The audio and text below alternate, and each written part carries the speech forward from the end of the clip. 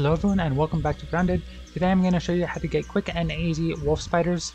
Um, if you don't know what this is, this is pretty much one of those endless food farm um, traps with the clover roofs and walls on the inside. Um, this one I put next to the oak tree and this is where I farm my wolf spiders. So without further ado, let's go over agitate one and then draw it over there and have it get stuck in there. Um, I will agitate it with the bow and then I will be taking it out with the Spider Fang Dagger.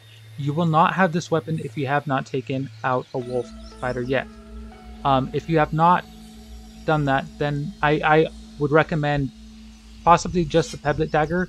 I love daggers in this game. Um, I feel like they're underutilized and they just attack. Um, I also recommend having some sort of armor, whether it be armor or uh, ladybug armor.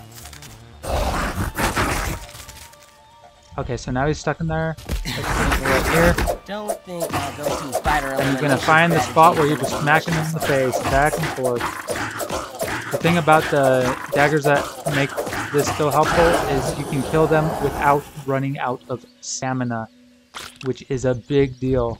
Um, other weapon, you can use other weapons, but um, you'll have to take a couple steps back, regain your stamina, and then go back forward and smacking him in the head. Uh, hope this helped you guys out. And uh, if you liked it, check out my other stuff, and I'll see you guys in the next one. Take care. Bye.